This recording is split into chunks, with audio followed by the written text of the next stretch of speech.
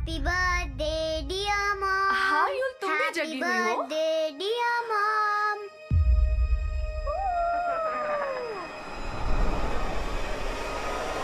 mom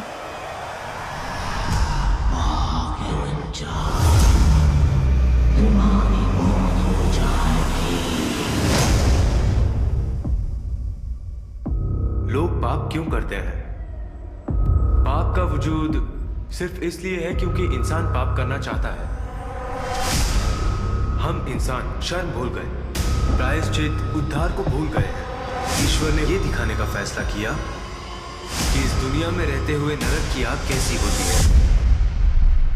वो चाहता है हम सिर्फ़ अच्छाई के रास्ते पर चलें।